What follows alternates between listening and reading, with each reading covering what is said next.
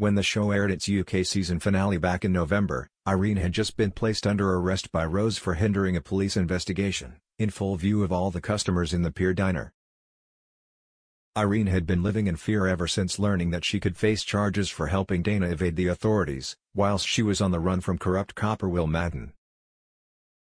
Even though Irene only knew that Dana was hiding out in her house for a matter of hours, after new lodger Harper snuck her sister into her room shortly before Irene went away for a couple of weeks, there was always the possibility that the police were going to try and make an example of her, even after clearing Dana of all charges. As we pick up the action in the new year, Irene is marched down to Yabbie Creek Police Station for questioning whilst John desperately tries to track down Cash, but he's been called into an anti-corruption meeting in the city. Irene is fuming at Rose, not only for arresting her in her workplace in front of everyone, but also for her previous assurance that she'd most likely be fine. Rose can only apologize and say that things had changed. Harper also isn't getting off scot-free, as she finds when she's also arrested on the beach in front of Dana. On arrival at the police station, and seeing Irene also present, Dana sounds off at Rose telling her that she knows this is wrong, but Harper tells her to cool it before she's thrown out. As Irene heads into the interview room, John lays the blame firmly down on Harper and Dana for the mess they've put her in.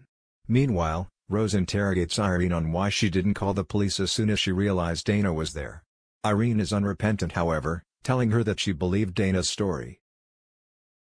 Come on Rose, you know me, an exasperated Irene tells her.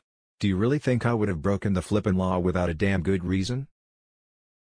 Next up is Harper, and as she faces Rose's questions in the interview room, Dana apologizes to Irene. Irene assures her that she went into this with her eyes open, and doesn't regret it for a single minute. Irene and Harper later have their mugshots and fingerprints taken, but when Rose contacts the magistrate she's forced to deliver some bad news. They can't be seen until morning, and with the sergeant refusing to grant the pair bail, they'll be forced to stay in the cells overnight. When Cash finally returns, John catches up with him and the two head back down to the station. Cash is met with a frosty reception from his colleagues though, following his meeting in the city, he's been officially suspended from the force for three months. Irene doesn't think it's a coincidence that the police pounced on her and Harper as soon as Cash was out of the way, and Cash agrees. Something about this stinks, and if this is the way the force is heading, then he's not even sure he wants to be a part of it anymore. Elsewhere in Summer Bay, Tane is on top of the world after wife Felicity agreed to start a family with him. Despite Flick making her position on not wanting children clear in the early stages of their relationship, Tane had been hoping that Flick would one day change her mind, just as she eventually did with the idea of marriage.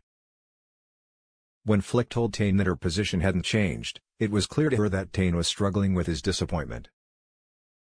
Despite his assurances otherwise, Flick worried that Tane burying his true feelings could eventually become a deal-breaker in their marriage, and so suggested in the UK's 2023 finale week that they should indeed try for a baby. Next week, there's only one thing on Tane's mind, and that's procreation. As the two rush home after Tane finishes up a gym session, Tane is already talking about turning Nikau's old room into the nursery. Flick is quick to point out that she's only just come off the pill so he needs to be patient. That doesn't stop Tane immediately wanting to go for round two though, after a brief interlude which sees Cash come home to find his sister in the front room in only her robe. When the pair eventually drag themselves to Salt, Flick tells Cash that they're now trying for a baby and Cash is stoked for them. He does however wonder about the sudden turnaround. Flick tries to place the credit onto Cash after his pep talk but he remains slightly dubious. With Cash having touched a nerve, Flick just asks him to be happy for them but it soon transpires that Flick is not being honest with Tane. Once he's out the way, Flick heads into Salt's storeroom where she has her box of contraceptive pills hidden away. And proceeds to take one.